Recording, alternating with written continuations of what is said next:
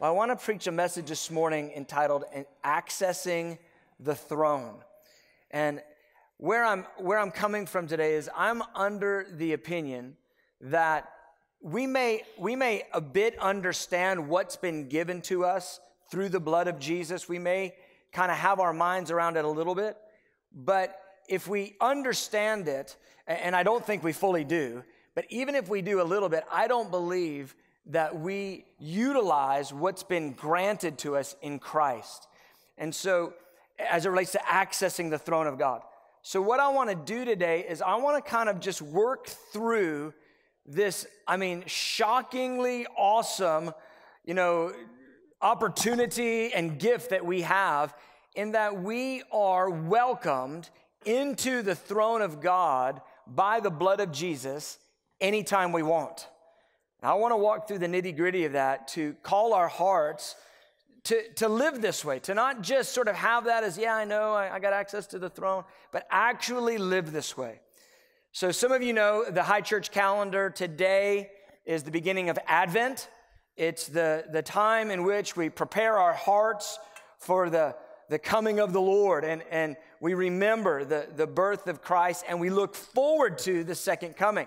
And so today is the beginning of that season. And some will follow Advent calendars and they'll use them devotionally. And um, as I was thinking about that and thinking about this message, you know, I don't know what could be more specific for this season than the idea that Jesus came to give us full access to the Father that he came to tear down every wall of division between us and God and us and one another so that we could have audience with the uncreated God. I want us to just think about this. Now, I know if you've been in Christ any amount of time, you kind of get it, but let's just think about this again. You and I, we're weak, we're frail, we're subject to and prone to, to mistakes uh, we're prone to failure and sin, and yet, through the blood of Jesus, those of us that have said yes to Jesus' lordship, we have been granted a wide open opportunity to step into the throne room of God anytime we want, any day we want, for as long as we want, forever. Now, just think that through for just half a second. Unless you are a family member of a CEO or a high powered political person, there is no exalted office that you can just show up on your schedule, on your whim, and decide to step in because you felt like it. You don't just go up to Chick fil A tomorrow and go, I need to meet with Dan. Dan around? How do I get to Dan Cathy's office? Need to talk to him. I want a little more pickle on my sandwich. I, am it's got a few things we need to talk about. That Popeye sandwich is kind of putting Chick fil A on the ropes. Dan and I need to have a combo. Like, that just doesn't work. You can't show up at Coca Cola. You can't show up at the president's office, at the governor's office, but because of Jesus, you can show up in the throne room right this second. And here's the problem there's many boundaries for us, and I'm gonna work through some of them today. But that idea is so colossal and awesome, and it's become cliche. And so I just want to try to just pull the curtains back and just kind of move some of the fog out and just remove some of the cliche for it because this season of Christmas, man, it wars on us, doesn't it? it? It's busy, it's commercial so often. There's more parties than anybody can go to. And the, the, you know, the order of things oftentimes gets us askew from the Lord. But what if this season we just made it about the presence of God?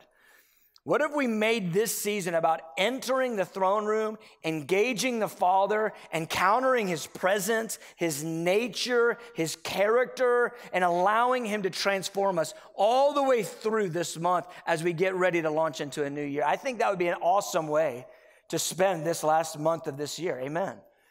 And so I want to work us through this. I, I want to talk a little bit about the throne. I want to talk about the access we have to the Father. I want to work through how it actually works because it's not this figurative thing, it's a literal thing. Then I want to talk about confidence that we're granted to come into that place, that we never have to come in fear or in, in shame. And then I want to sort of tune us to how we're supposed to set our minds as it relates to, to the throne. And so, so let's just jump into this. Um, I just think that this is the greatest wonder that the gospel was about bringing us to God. Ephesians 1 says that God wanted us to be before Him in love. This is one of the key reasons that God became a man. It's one of the key reasons for Christ coming and dying on the cross is to, to rip the boundary and rip the barrier between us and God so that we could be with Him. He's not this highly exalted king that just wants his subjects to stay at a distance. He, he, he's not trying to, to lord over us. He actually wants us in his presence. And this is our portion. This is, it's our grand opportunity. It's our privilege that we actually get to live all of our days engaging Him in his presence you know experiencing his nature experiencing you know his thoughts and his perspective. And, i just think that this this concept of us who are weak having this this opportunity it can't be overstated how wondrous this is. He's uncreated. We're finite. He's exalted in power. I mean we are so weak and he wants us there beloved and oh, I want us to get out of the cliche of this and to make this our, our normative habit that we would live before Him all of the days of our lives. Now, here's the challenge sometimes we talk about hey, you have access to the throne room of God. And what we do in our minds is we go, well, you know, that's like a spiritual thing.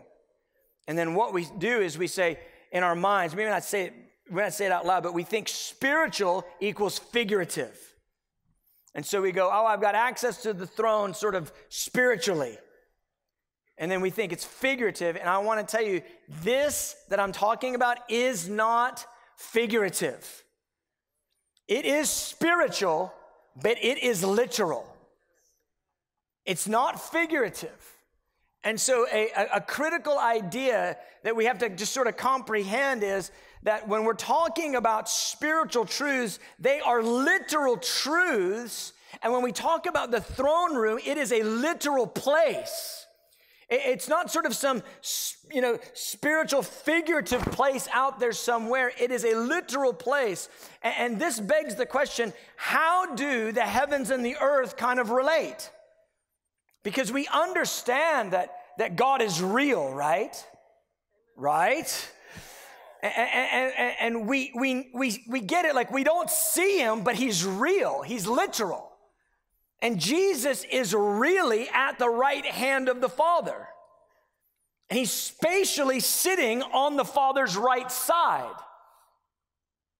And there is a throne room, Revelation 4 and 5 make it super, super clear. And there's space and distance, and this is even hard to comprehend. There's physicality in that place. Well, what do you mean by that? I mean, John, when he goes there, he sees the Father and he's sitting. You don't sit if you're a wispy cloud, ghosty figure. But the Father has corporality. He has a physical body in which He's able to sit on a real throne. And this will bend your mind a little bit, but just because it's spiritual doesn't mean that it's not physical. What am I telling you? I'm telling you, if you stepped through the veil from the earth into the heavens, the heavens is just another way to say into the spirit. If you stepped through the veil, the physicality of that place would be as real as the physicality of this place. That throne room is real. That throne is real. Those lamps of fire before the throne are real. Those living creatures really do have six wings, and those wings really do flap. And when they really say holy, it's really heard in the throne room. And the sound really travels through the atmosphere, comes out of one mouth and into your ear, and you can actually hear it when you're in that place. There really is a sea of glass. There really are seven lamps of fire. There really are 24 elders on their own thrones with their own crowns and their own robes. That place is real, beloved. And this is what we have access to. There's real lightning coming out of the Father, there's real thunder coming out of Him. He really does look like a jasper and a sardius stone, like, like jewels. He looks like gemstones in light. He's glorious and majestic and fiery and wondrous. And that place is a place of pleasure and power and, and, and peace and perfection. And this is what we have access to. And the fact that we would ever be bored entering into that place is a mind blower. It must be that we don't actually believe it. Because if you believed it, You'd step into that place and that theater of divine entertainment, and all of your senses would begin to get pinned to 10. And this is what I want to reset our hearts and our minds on that when you close your eyes and you say, Father, that is where you are. And our challenge is that often that we kind of just get into this mode of, yeah, yeah, I've got access to the Father, I can just pray whenever. And we almost have this mentality that we're, our prayers are a frisbee and we're sort of like, hope it gets there. Don't break your thing. Hope it gets there. Do a little bit more, uh, anyway. And it's like we, we're, it's like we're, if we chuck it really hard, and say the exact right words, perfect form, then the disc will actually make it to the throne room somehow. And I'm telling you, that's not how it goes at all. How it goes is you close your eyes, and in one second, you're on the sea of glass. You're instantly on the sea of glass. There's not even a second, it's just you're there. Why? Because this is your station if you are in Christ. You have access to the throne room. Not a figurative, a literal access. I like to explain it this way. When I talk about the heavens and the throne room and the unseen, I like to explain it this way. It's as physical on that side as it is on this side, but there's a veil in between. And from their side, the veil, you can see both sides. From our side, the veil is like a mirror. All we can see is this side. Oh, but when the veil gets torn back, the angels, the realm of, of heaven, the throne, all of that is physical and literal. Jesus ascended, think about this, bodily somewhere. Did he lose his body on the way up? No, he passed through the veil and he sat at the right hand of God.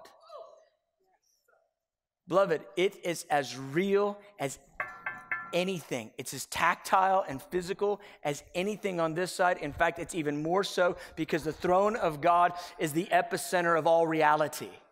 The closer you are to the throne, the closer you are to reality. The further you are from the throne, the further you are from reality. It doesn't matter who you are. You could be the president of a nation. If you are distant from the throne, you are outside of reality.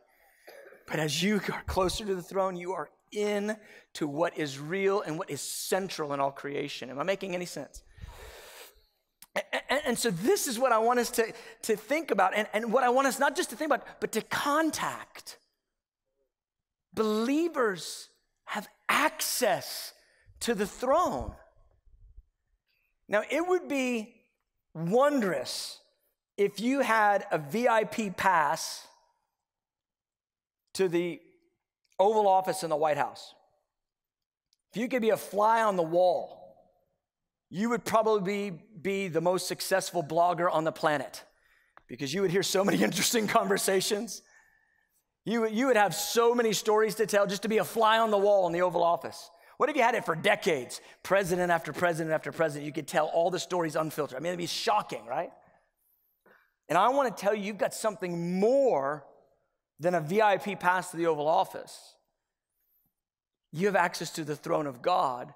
But here's the point not just to be a fly on the wall, because it's not just access to the room, it's access to the one.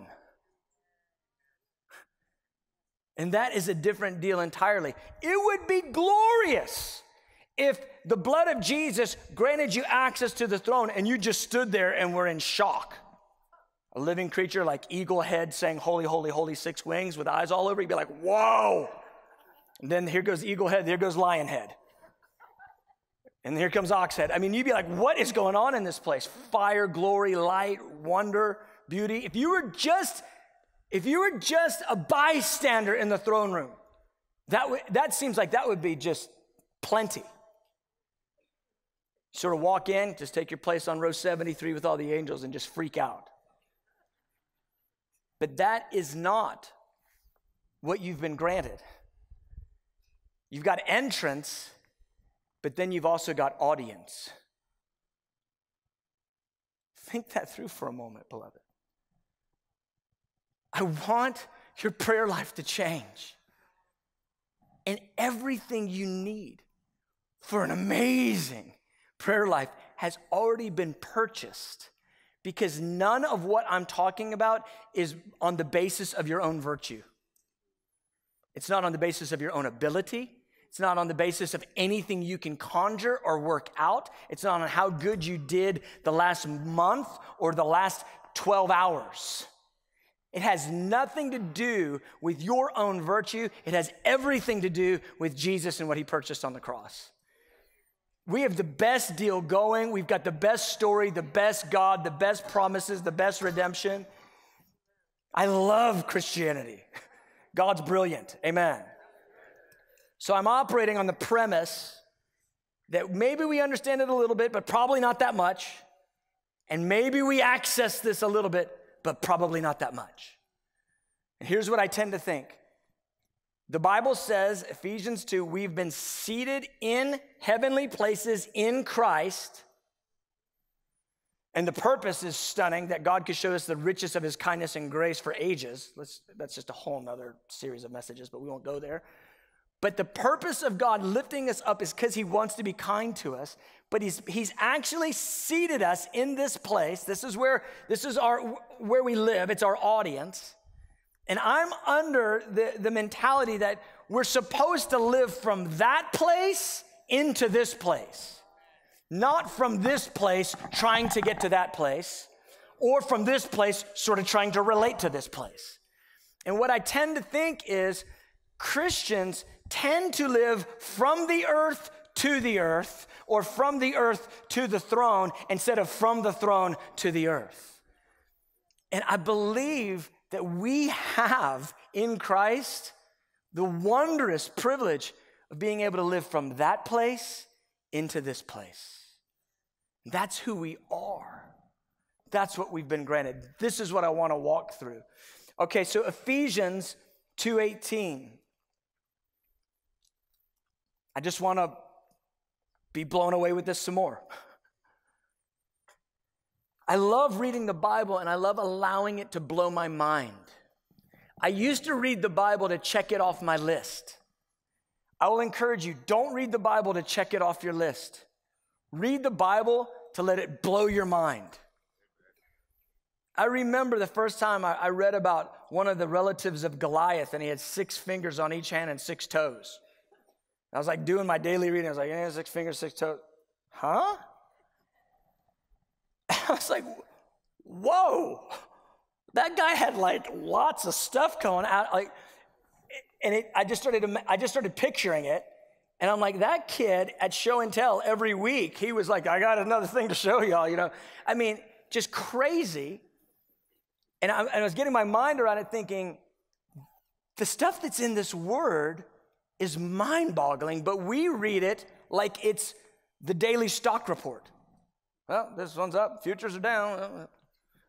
And instead of allowing it just to explode wonder in our soul, I love reading it slowly, phrase by phrase, verse by verse, allowing the verses to just take residence in me, and then picturing what the verses say. Don't read it like you're trying to win the speed reading competition to get your box checked on did you do good today? I read my Bible. Don't do that. Read it verse by verse, phrase by phrase. Let each phrase roll over your mind. Ephesians 2:18. This is one of those. I've just been chewing this this week. I, I love this passage. It's perfect Trinitarian theology. We see the Father, Son, and the Spirit all working in perfection. For through him, this is Jesus, through Jesus, we both, this is talking about Jew and Gentile, have access by one Spirit to the Father.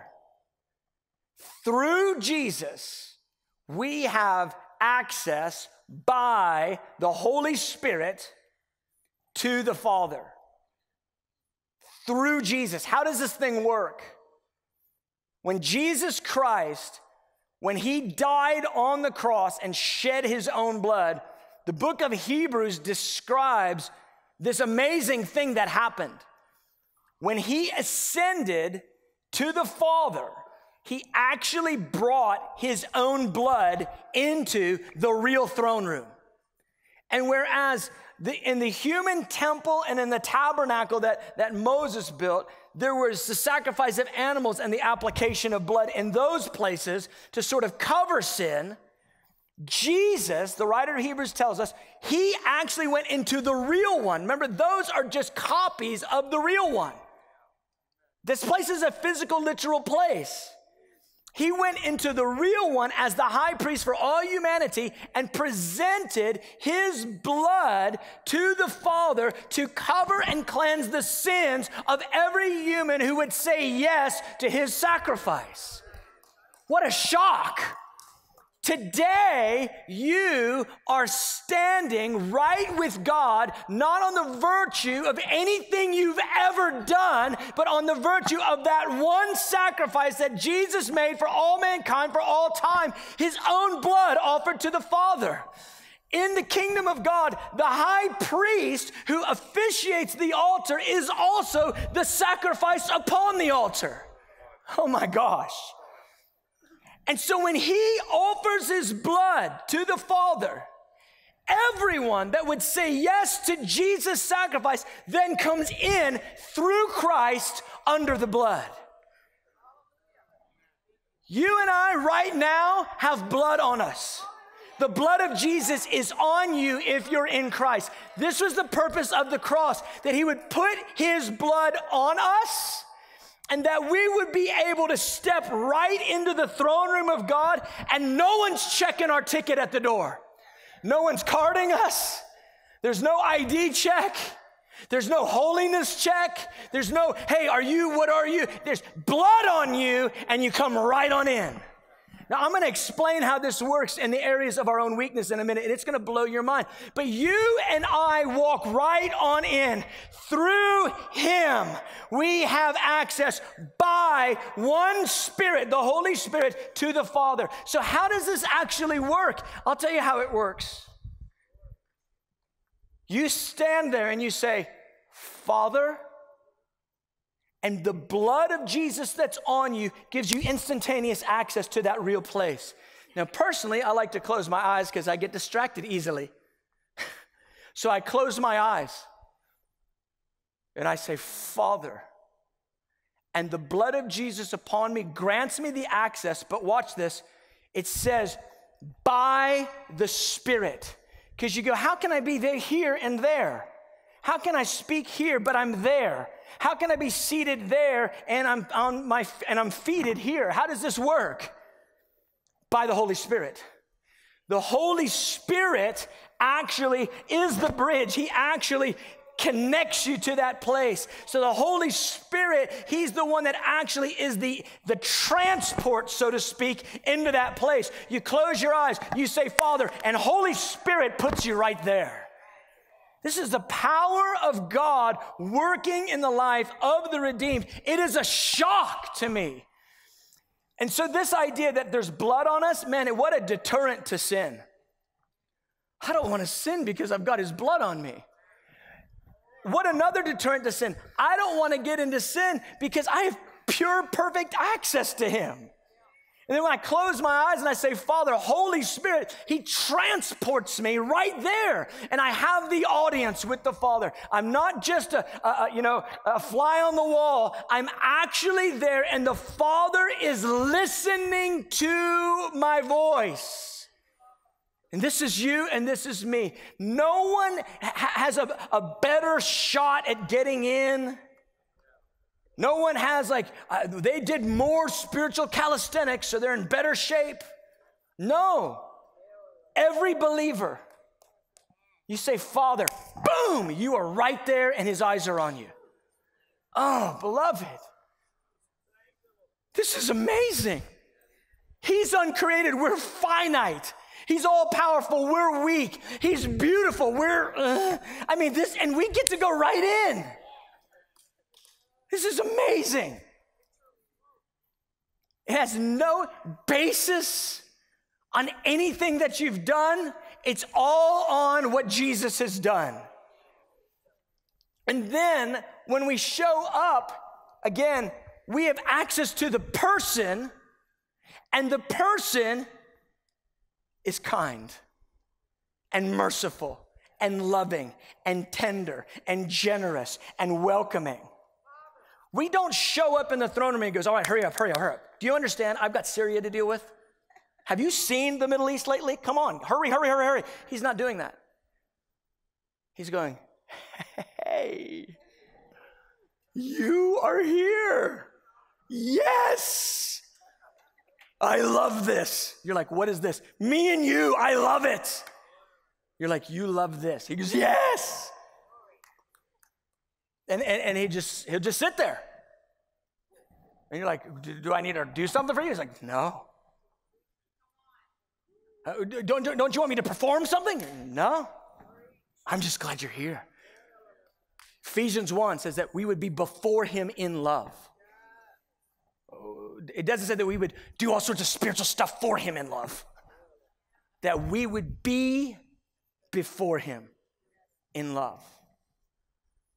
So we get into that place and we go, Father, he goes, Yes. And for me, at that point, my prayer list usually melts, it disintegrates. You know, I show up with all the things I think I need and all the things everybody else needs, and I go in that place, like, I go, Father, and a smile comes over his face, and he's looking at me, and I go, Father, and he goes, Yes. And the glory and the wonder of this one who wraps himself in light like a garment is pouring out over me, and I realize there's no veil, there's no hindrance, and he wants me. He doesn't want something I can do, he wants me. And I go, Father, he goes, Yeah. And I go, Holy. My prayer life consists mostly of one word holy. I use other words too, but that's the main one holy. And then I say yes a lot. Yes. Yes. Holy. Beloved, this is what we get to do all day, every day at our own whim. This is Christianity. I like to call it the theater of divine entertainment. You know, that, that place of just wonder and brilliance and sight and sound and glory and beauty and love and pleasure.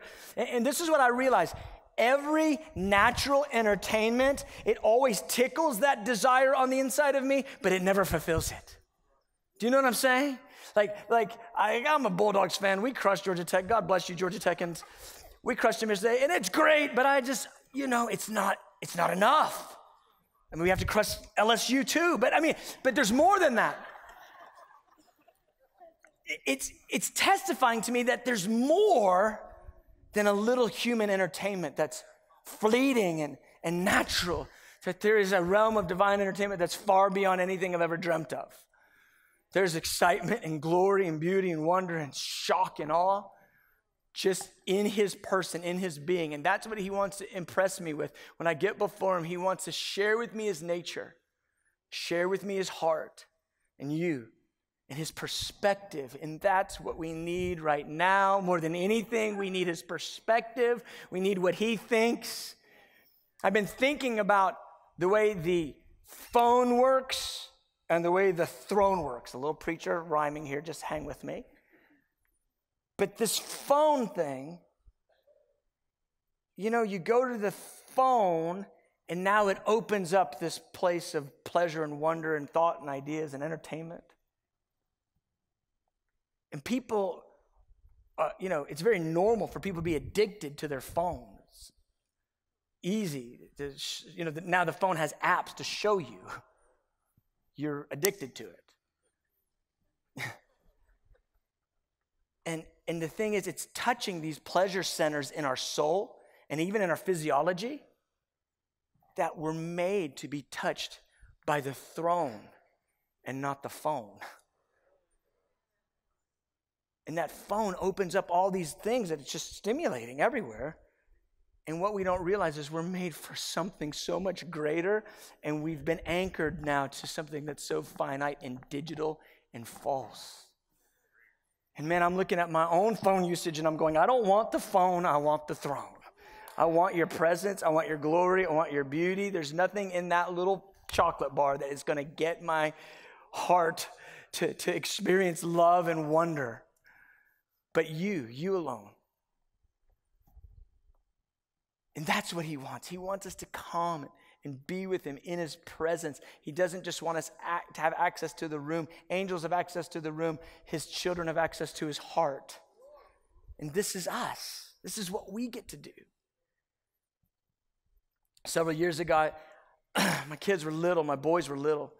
And uh, I remember I, I, I, did like a 12 hour day uh, you know, in the ministry, just people meetings all day. Just you know, you just get you just get worn out. You know, and I came home. And it was like six thirty, seven o'clock, and, and they wanted to wrestle.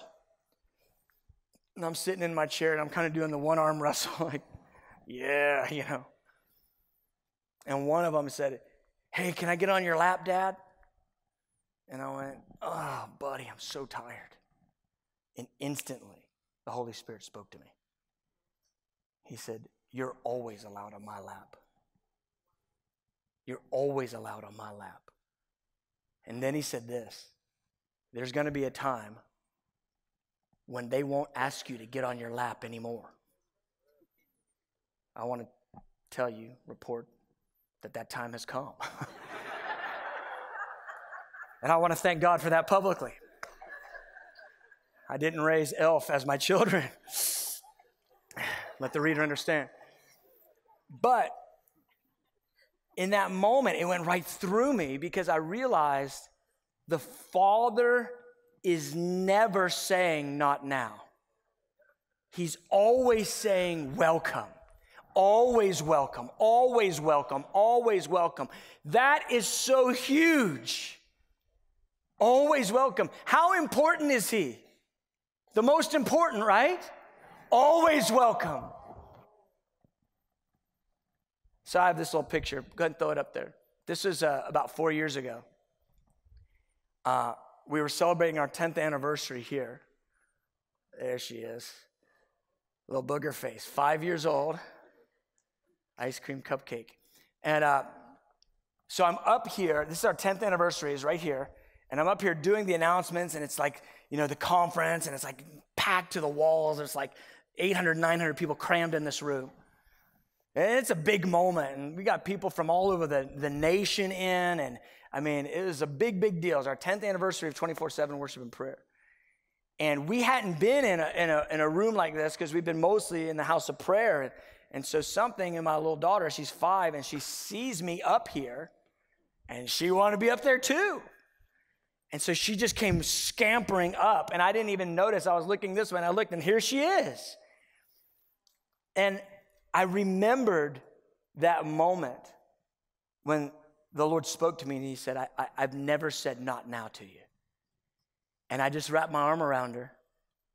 And that little face, it tells you everything you need to know about being confident in the Father's love. He's never said not now. He's always saying welcome.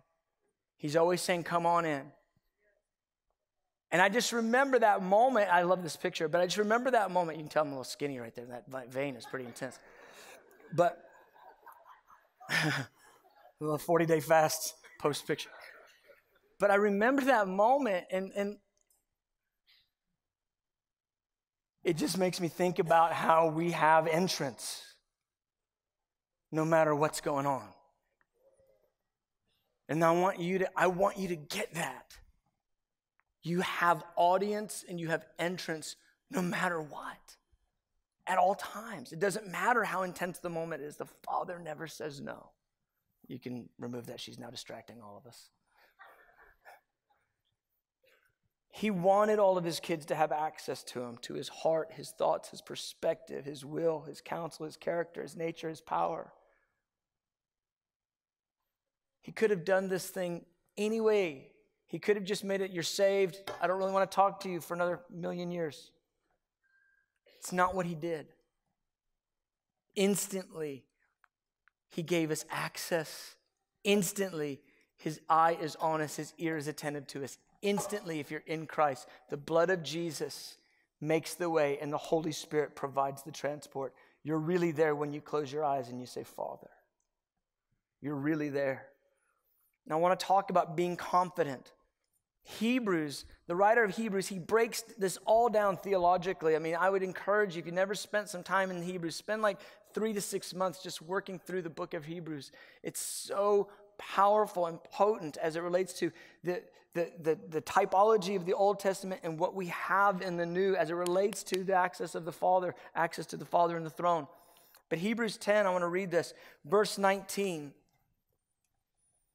it says, Therefore, brethren, this is, I want us to under, I want to underscore this confidence and boldness idea.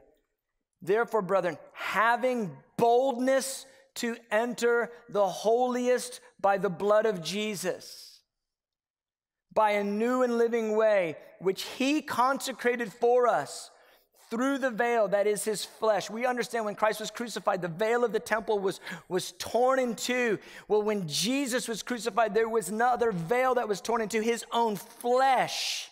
And through the tearing of his flesh, it's just that symbolic picture of the tearing of the natural veil of the temple into the Holy of Holies. The tearing of Christ's flesh enables us to come through into the holiest of all, into the throne room of God. The uh, he consecrated for us through the veil that is his flesh, and having a high priest, that's Jesus, over the house of God. He says, Let us draw near with a true heart and full assurance of faith. Full assurance of faith, boldness and full assurance. And I got to be honest with you, I don't like how many preachers preach this. They, will say, You just got to go up there and just tell God whatever, whatever you want. And I'm like, no, that's not what that's saying. What that's saying is because of what Christ did, you don't have to walk in there full of shame and insecurity. And I'm convinced you may understand that there's access, but so many believers stay out of the throne room because they are so full of shame and so insecure that they think when they're walking in there, they're like, oh man, here I come, and man, I didn't do all my spiritual push ups, and I'm just not ready for this, and eh, please don't strike me down. You may never say that, but you feel it. And the scripture is absolutely clear. Everything that's necessary for you to get that instantaneous access has already been done, and it's not on your own merit. It's the blood of Christ. You are cleansed by the blood of Christ. You are granted the audience by the blood of Jesus, not by your own works. You don't get better access if you read the Bible 10 hours a day. You don't. You may believe in your access more but you don't get better access. The guy that's one second into salvation and the dude that's been saved 50 years, they have the exact same access. It's the blood of Jesus. You're right in by the blood of Jesus. And that's what the scripture is saying. Because of the blood of Christ, you can just walk in there confidently. Here I am. I have to counsel believers so often. God's not surprised at your weaknesses. He's not shocked by your sin. You know, we treat our sin as if it's something that just God never saw coming. Like he loved us yesterday when we were pure and holy, but today, you know, we've been wrestling and God's going, Dear God, I had no idea. You're like really gross today. I never saw that coming. It's not the case. When you were feeling his nearness and his presence and his love yesterday, he knew you were going to step in the stuff tomorrow. He was encountering you to give you courage that when you step in the stuff, you can still walk right back to him and go, Help. And we don't go walking into him going, I got my sin and whatever. No, we go into the throne going, Here I am, cleanse me. This bold confidence, this, this full assurance of faith, it's about coming out of shame and stepping right into that place that you're created to live. Hebrews 4. This is so clear. And, and, and I, I want to read verse 15. Hebrews 4 15 and 16. It's so clear. So often I've heard this preached about you just got to just go in there boldly and tell God what your needs are and just go by faith and get your needs met. And that is not what this is saying. It's actually saying when you're sinning, go in boldly. Because going to the throne when you're in sin is the act of repentance, because you can't go towards God and towards sin at the same time. It's calling us to confidently and boldly repent by running to the throne of God. Hebrews 4, verse 15 For we do not have a high priest who cannot sympathize with our weaknesses, but was in all points tempted as we are, yet without sin. Let us therefore, because Jesus has been through all of it, and he said no to every temptation. He goes, now he's been through all of it and he's overcome all of it. Therefore, let us come boldly to the throne of grace, what? That we may obtain mercy and grace to help in time of need. Let me ask you, when do you need mercy? When you've messed up. This is not about showing up with your list of needs, going, I need God to do this for me. God, you got to do this. I'm being bold with you. It is not what this is. This is when you've messed up to get mercy. Boldly come in. He goes, Come and get it. The Lord, the Lord God, when he said his name to Moses, the Lord, the Lord God, merciful. Mercy pre understands that you have done something wrong. The need for mercy. It's based on the idea that you've done something wrong. When Jesus said, Blessed are the merciful, and he, and he called us to be merciful, he was explaining to us that people are going to do you wrong. Be merciful. Because that's exactly how the Father is. Come and receive mercy. Come boldly and receive mercy. See, when we preach this thing the way it really is, then you end up having to say what Paul had to say. What shall we say, what shall we say then? Shall we continue in sin that grace may abound? May it never be. See, Paul was preaching such a rich grace and such a powerful blood of Jesus that people were actually taking him out of context and thinking we can just sin all we want and it's totally fine. And Paul goes, No, may it never be. How can you who have died to sin live any longer there in it? But his point was that when we do sin, you can boldly come in because you've got access and the attention and the audience of the Father. You can boldly come in and get every sin cleansed. And beloved, this is our portion. Man, I want to live in that place of audience and interaction. I want to live in that place of being sourced by His wonder, His beauty, His grace, His love. I want this season of Advent to be a season of presence, not gifts, presence, where we're engaging God. We're standing before Him and we're coming into our identity as sons and daughters. That's what this can be for us. Last thought, last verse, Colossians 3. Oh man, I'm going to get us, we're going to beat the Baptists today. Glory to God. Colossians 3.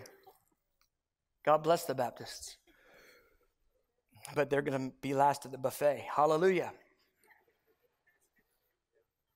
I've said that joke for 25 years. It still works. Colossians 3, look at this. Paul wrote Ephesians and Colossians at the same time, so the themes in both books are very, very, very similar. Ephesians 2, he, he, he, explains how we are raised and seated in heavenly places. We were dead in our trespasses and sins. Now we've been raised and seated in heavenly places in Christ. Colossians 3 says, Now, if then you were raised with Christ,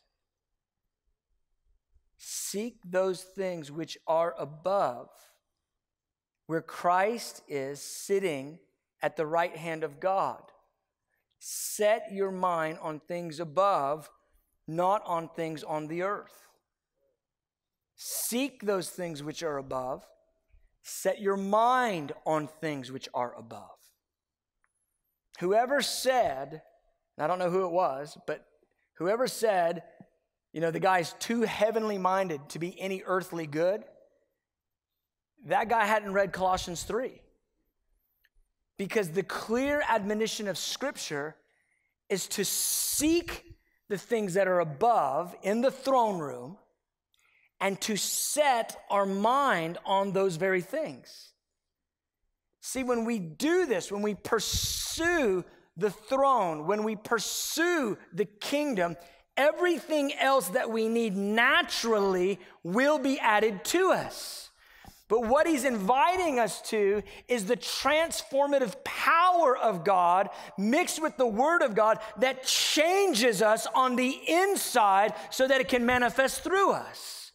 So when we seek the throne, what happens is you come before the throne, and the wonder and the glory of that place begins to permeate you. The joy of that place begins to fill you. The pleasure of that place begins to fill you. The peace of God in that place, it begins to fill you and overwhelm you. And the perspective from the throne room changes the way that you look and think about things on the earth. We have no reason to ever worry. Wow, that was a weak that was a weak amen. Think that through for a minute. Because we're seated with Him in heavenly places, and the throne is the highest throne above everything else, infinitely higher above every other throne. And we have perfect audience with Him at all times. We have no reason to worry. We have Him. We, we don't need anyone else on our team. We don't need one other person. Look who we got God. Y'all got Lucifer, Goliath, Hitler, whoever. Doesn't matter. We got God.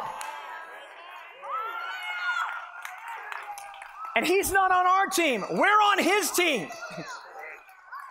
It changes your perspective, it changes your emotions. Our challenge is we're living from earth to earth.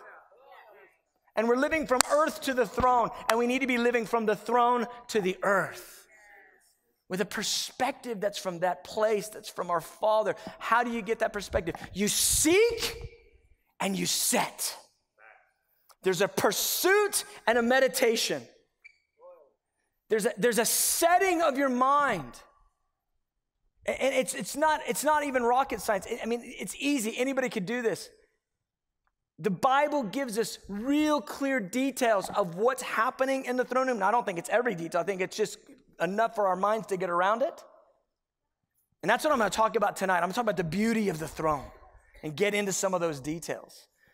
But the Bible gives us such clarity in the detail of the throne that you can easily remember the details. You can close your eyes engage those details with your mind, and all of a sudden, God is now anointing your imagination, and you are picturing yourself in the very place that He says you have access to. Now, somebody goes, Well, that sounds like visualization. Look, they stole it from God. He said, Set your mind on things above. So if I'm going to set my mind, then I'm going to use what God gave me, divine imagination. Why did he give me all those details if he doesn't want me to picture it?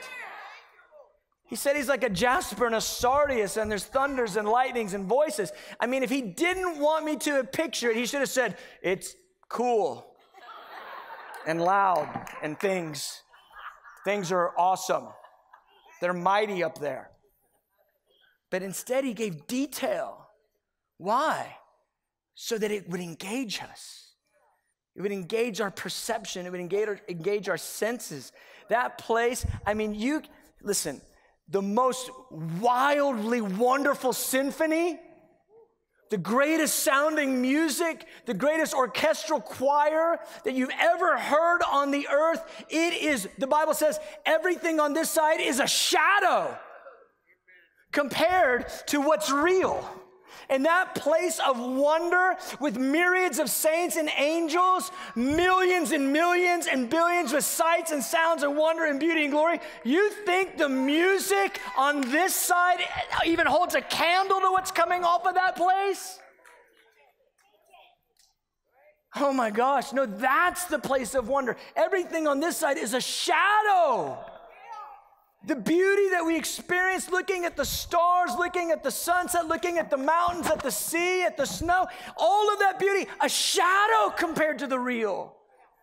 It all, the heavens declare His glory. Where is His glory from? His throne. Set your minds on things above. Seek those things, the right hand of God. See, we're supposed to live this way so that when the stock report comes out and it's a mess, we don't care. And when the political banter starts flying like it's about to start flying, we don't care. Because I don't care who's on the throne of the United States because I know who's on the throne of all created order. Do you see? And I get that perspective. I don't care what any news outlet says. I don't care what any Twitter feed says. None of that matters. What matters is what do you say? You who are highly exalted, most high God. You who love me ever still. You have given me access to your own presence and your throne. What's your perspective? This is how we're to live, beloved. Amen. Amen. Amen. All right, let's stand.